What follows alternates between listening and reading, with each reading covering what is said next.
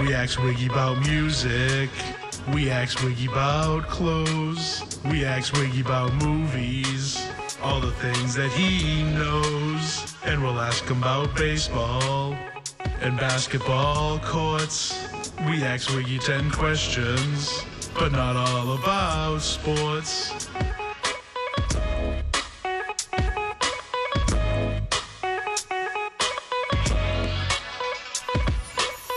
All right, we do this every week with Wiggy. 10 questions on different subjects. And try not to have any fun here. No laughs allowed. Uh, we got to stay on time. There are only 12 minutes to do the Well, that top. kills my buzzer options then. only 12 minutes to do it, so we got to stay on time. What are our buzzer options, Jimmy? Let's just go to the magic eight ball and see what the magic eight ball says. Shake it up. Of course. What else? over the stuff with Gretchen Bunchen. Falcon and Maserati are the two, wor- like I'm telling you, you guys suck. So good. Out of boy, Cincinnati. They never let you down. I like that. I'm not disputing those comments. Jonathan, if you're listening, know that I'm not disputing your comments. I don't care what CBC says anybody has to say. They don't know what's happening, so I really don't give a what they say. That's John Tortor. Sorry about that. I spoke over a media guy in the background going, all right, when John Tortorella swore at CBC. He's already making friends up in Canada. Is that it? I think we got out Fenway tonight. Olynyk at seven feet, he comes in with more skills than the whiskey. Oh, yeah. Yeah, we had that last night. And who can forget fantasy stats? I love fantasy stats. And the older I get, I don't know. It's going to be some old fuddy duddy. I want the blowhole. Okay, that's the one. Number uh, 10. I want the blowhole. Number 10, Wiggy, give me your Wiggy power rankings in the NFL. Top five, one to five. All right, number one, I'm going with Denver. Uh, number two, I am going with Seattle. Number three, New Orleans. Number four, New England. And number five, I had a toss up between San Francisco and Kansas City. And you went with? I went with San Francisco. Denver, New Orleans, Seattle, Indy, New England. So we've uh, so I have New England at number five as well. We all consider them a top five team. I think they are. Good job on Indy, Maz. I think they deserve consideration in that top five. Mine are New Orleans. That's one. Denver's two. I'm still going to put San Francisco and Green Bay in there because I just think at the end of the day those teams are going to be there. And the Pats are number five. I want the blowhole. Number nine, the Pats ran the ball only 18 times in Cincinnati on the day, Jermaine Wiggins, just six in the second half. Now, we talked about the goal line situation a little bit earlier, but in general, does Josh McDaniel deserve blame for going away from the run game in general? I, I think he does a little bit, but he's down to his third and fourth running back. So I, I think when you look at how he's calling the game, sometimes he's looking at it, well, maybe it's probably better if we put the ball in the hands of number 12 rather than put the ball in the hands of, say, Blount and Bolden. Well, obviously, but is that the right call there? I, it's I, I wouldn't say it's the right call, but I think at times when you get in a situation and you you're down to your third and fourth running back, you, sometimes you say, you know what, I got to go with this call because they're not there. Those guys don't run the same way as Vereen and Ridley would run the football. So sometimes that turns you away from running the football. Wiggy, Wiggy, a little reluctant there to second guess the Patriots. Yeah, I just said I didn't I didn't agree with it. Yeah, let me help you out. Of course he deserves blame. the only way he doesn't deserve blame is if you're blaming Belichick instead. I want the blowhole. Number eight, Esquire magazine has named Scarlett Johansson as the sexiest woman alive seven years after she first won the award as a 21 year old newcomer. She's 28. Wiggy, who wins the wiggiest, excuse me, the wiggiest, the wiggy sexiest woman alive award? Um, I'm gonna go with uh, Alicia Keys, man. I like Alicia Keys. I've heard that before. Still, Yeah, Alicia Keys. Look at just look at it. She's got it all. She's she's pretty. She's sexy. She's chocolate and thick. I I just I fought long and hard trying to find somebody. Um, and yeah, Rihanna kind of was. You know, she was kind of up there a little bit, but Alicia Keys, I think she's just she's the total package. See, now you think you know what I'm going to of say here. course, yes, the princess. But you're wrong. Because the question is sexiest woman alive. I'm going with Lucy Liu. Love her. I love me some Lucy Liu.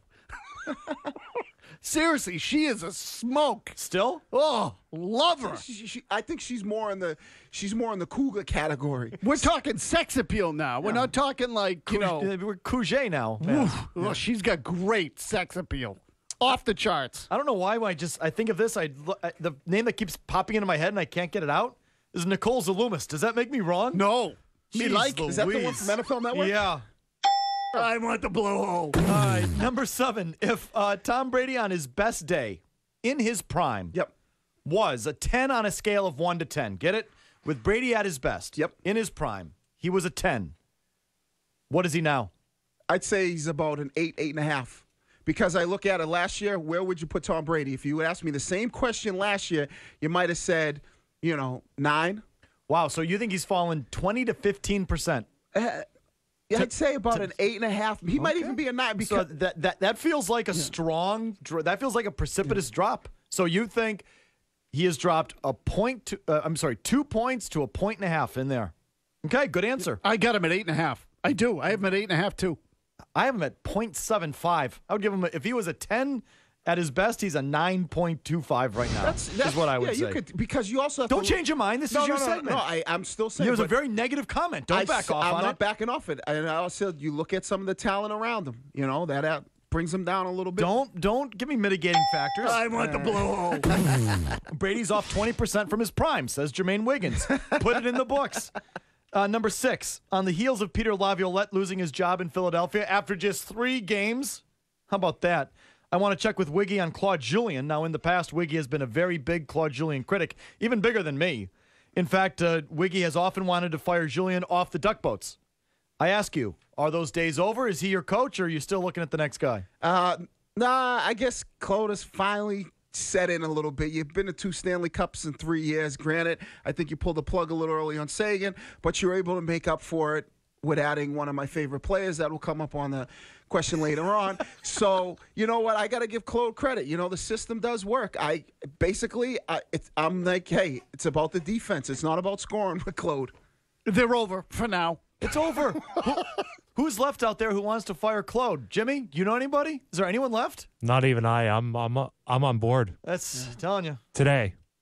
All right, I'll, I'll get back to you next week. I want the blowhole. Number five, it's the wiki word on the street. He sends me a text page every Wednesday morning. Tell me what's going on in his world. I can't understand it, so he has to translate. Here it is today. Could you understand it?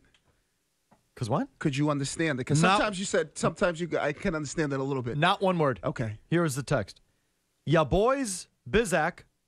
I'm about to break out the swizzle. One, number one, Mo, M O, time. Exclamation point, exclamation point, exclamation point. One more time. Ah, I see your mask. Yeah, boys, Bizak, I'm about to break out the swizzle one mo time. Yes. Please yes. translate. Well, you know what? I get a lot of people saying, wait, you got any plays left in you?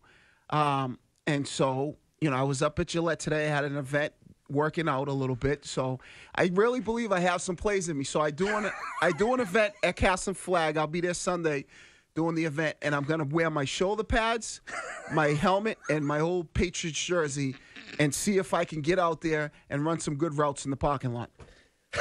One more time. See if I can get it done. So what's the your boys Bizak? What does that mean? That means your boy's back.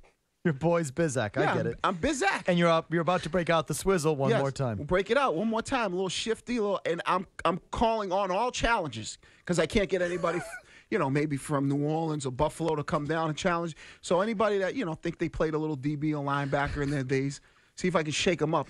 I love the image of Wizzy, Wiggy being at the cask in his helmet and shoulder pads, like looking like a dolphin. Nah, I don't look that bad. Come on now. Jermaine, what's the Shake it up. last? What's the last day you spent in the league? The last day. Were you in camp with someone in Yes. 09 or 08 Uh, or? Jacksonville. I would, uh, Jacksonville against Green Bay was my last NFL uh, preseason training camp. So it was a preseason game, Jacksonville, Green Bay. What year? Uh, oh, 2007. Oh, so it's been. A, so Yeah. you're you're long gone. No Yeah. chance. Uh, I I think I got a couple play. No, I, I got a goal line play in me. Next. I want the blowhole. Okay, Jermaine. From all the bad Patriots plays Sunday in Cincy, what was your least favorite? And that's the play I got left in me. I don't know why you throw it to Nate Solder on the goal line. Josh McDaniels, I'm putting that one on him. You do not throw it to an offensive lineman running the back line, back corner route. I could have did a better job than that. You see, he got tied up. He's struggling.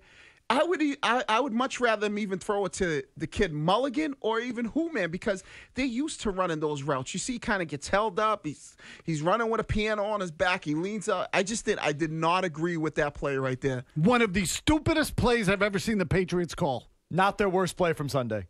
In fact, not even close. What was their worst play? Third and 15 for Cincinnati from their own two yard line at the end of the third quarter. They quick snapped the Patriots and they weren't ready.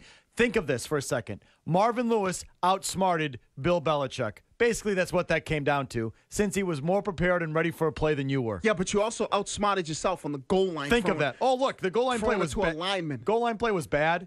I can't believe Cincinnati put one past you. That is inexcusable. I want the blowhole.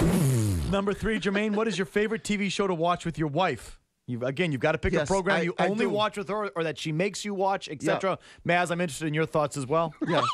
I, me and her, our favorite show is with, with my boy, Scrap, Fizz Naeem, loving hip hop, Atlanta, you know, Mama D. We love Stevie, Stevie J, Joseline. That's our favorite show to watch together. And I got you hooked on it. So Yeah, is that I've- you're on the wood? You in the wood? Is that your favorite no, show? I've watched that solo. That- and uh, you watch it with the wood. It wasn't the worst thing I've ever seen. Maz? I gotta go Homeland. I'm into Homeland. I love Homeland. yeah, but with your But you, and the, he but you and the wifey. Yeah, together. She watches it too. And, and if you want to get something a little bit more on the softer side, a little more feminine, Parenthood.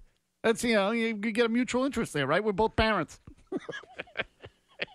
Maz, how many shows do you watch with your wife? I'd say it's really about three, maybe four: Parenthood, Homeland, uh, CSI, and I'm leaving one out. You still watch Boardwalk Empire. Law and Order. You still watch CSI? I do watch CSI. Yep, I watch CSI. a lot of shows with my wife. Beetle? I watch two together. One of them is Homeland. The other one is Modern Family. Ah, Modern Family we watch too. That's fine. Oh, my God. You watch a lot of TV. We watch Those Love are and the Hip Hop. Basketball Wives, Real Wives of House, New Jersey. Every reality show you could possibly think about. That's what uh, that we watch. We're way behind at the moment. Jay Stu? What about you, Felgy? None. Zero. I told you. What There's you no TV watching what, together. What, what you and the Wood need to watch is Love and Hip Hop. New York's coming up, so you guys Okay. can watch that one. All right. I want the blowhole. Uh, number two, who's been your favorite player on the Bruins so far through two games? Uh, he wears number 12. what has My he boy, done? Iggy. What has he done other than fight? Uh, that's. Hey, that's all I wanted him to do for right now. He'll get his time. He'll get his time, but I got to go with Iginla. You know, it is what it is. I like I like his style of pl- hockey. Put it like yeah, that. chocolate and thick. If we're just talking two games thus far, Karan. I love what I've seen from Karan so far. Torey Krug. Yeah, I like him too. He's looked. I just love watching him play. Uh, Torey Krug is the guy. I want the blowhole.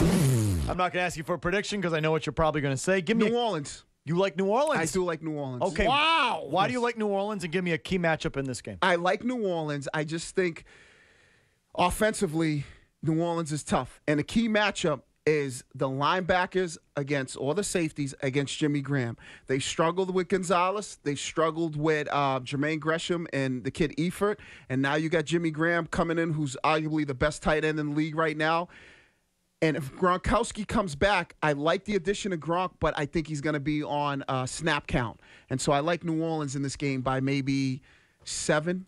Wow. The Jimmy Graham matchup is on my list. Behind Sproles scares Oh. the crap out of me in this game. Who covers Darren Sproles? They can't cover backs and tight ends. This team's got both. They're screwed. And and J- J- Jimmy Graham has already won four weeks in a row with 100 yards receiving.